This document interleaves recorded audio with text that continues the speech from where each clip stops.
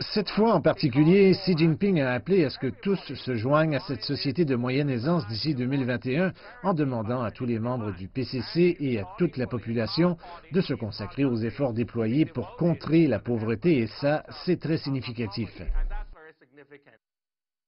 Il reste d'autres choses à accomplir, par exemple sur la politique étrangère.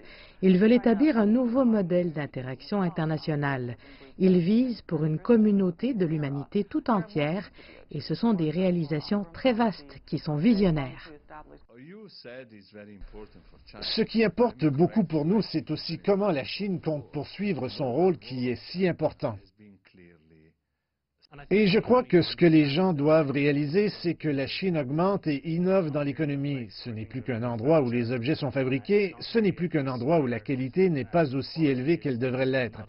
Toute cette réputation est en train de changer, en particulier dans le secteur du numérique, du commerce en ligne et des services offerts en ligne aux consommateurs, car la Chine est en fait en train de bondir en avant.